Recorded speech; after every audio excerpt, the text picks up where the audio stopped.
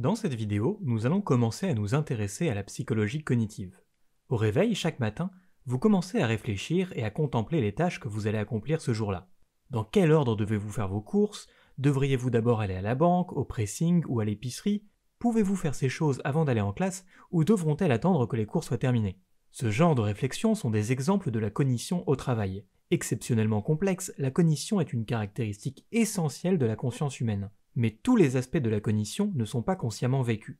La psychologie cognitive est le domaine de la psychologie consacré à l'étude de la façon dont les gens pensent. Elle tente d'expliquer comment et pourquoi nous pensons comme nous le faisons en étudiant les interactions entre la pensée humaine, les émotions, la créativité, le langage et la résolution de problèmes, en plus d'autres processus cognitifs. Les psychologues cognitifs s'efforcent de déterminer et de mesurer différents types d'intelligence, pourquoi certaines personnes sont meilleures que d'autres dans la résolution de problèmes, comment l'intelligence émotionnelle affecte la réussite sur le lieu de travail, et bien d'autres sujets.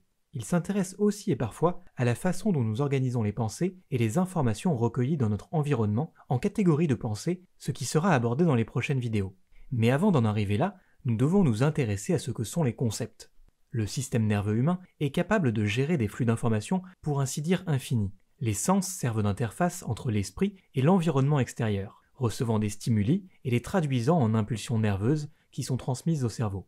Le cerveau traite ensuite ces informations et utilise les éléments pertinents pour créer des pensées qui peuvent ensuite être exprimées par le biais du langage ou stockées dans la mémoire pour un usage futur.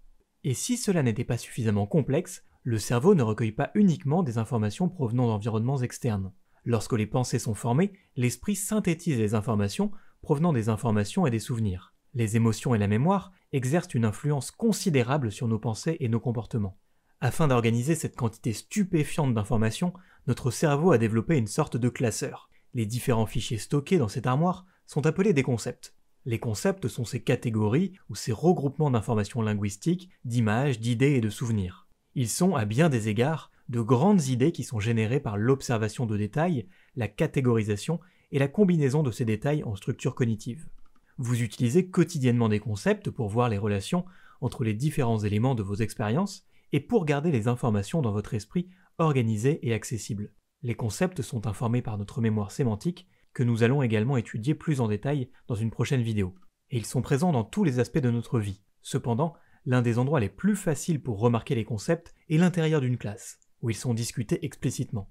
Par exemple, lorsque vous étudiez l'histoire de France, vous apprenez plus que des événements individuels qui se sont produits dans le passé. Vous abordez une grande quantité d'informations en écoutant et en participant à des discussions, en examinant des cartes et en lisant des récits sur la vie des gens. Votre cerveau analyse ces détails et développe une compréhension globale de l'histoire. Ce faisant, il recueille des détails qui informent et affinent votre compréhension de concepts connexes tels que la démocratie, le pouvoir et la liberté. Les concepts peuvent être complexes et abstraits, comme la justice, ou plus concrets, comme par exemple les types d'oiseaux. En psychologie, un autre exemple serait les stades de développement de Piaget, qui sont des concepts abstraits. Certains concepts, comme la tolérance, sont acceptés par de nombreuses personnes, parce qu'ils ont été utilisés de diverses manières pendant de nombreuses années. D'autres concepts, comme les caractéristiques de votre conjoint idéal ou les traditions de votre famille, sont personnels et individualisés. De cette façon, les concepts touchent tous les aspects de notre vie, de nos routines quotidiennes, aux principes directeurs qui sous-tendent le fonctionnement de nos démocraties. Une autre technique utilisée par votre cerveau pour organiser l'information est l'identification de prototypes pour les concepts que vous avez développés. Un prototype est le meilleur exemple ou la meilleure représentation d'un concept. Par exemple, que vous vient-il à l'esprit lorsque vous pensez à un chien? Il est fort probable que vos premières expériences avec les chiens façonnent ce que vous imaginez. Si votre premier animal de compagnie était un Golden Retriever, il y a de fortes chances que ce soit votre prototype pour la catégorie des chiens. Et sur ce, nous en avons terminé avec cette petite introduction à la psychologie cognitive. J'espère que ça aura pu vous intéresser et que ça vous donnera envie d'en apprendre davantage dans les prochaines vidéos. Si c'est le cas, n'hésitez pas à laisser un like et à vous abonner, et on se voit dans une prochaine vidéo.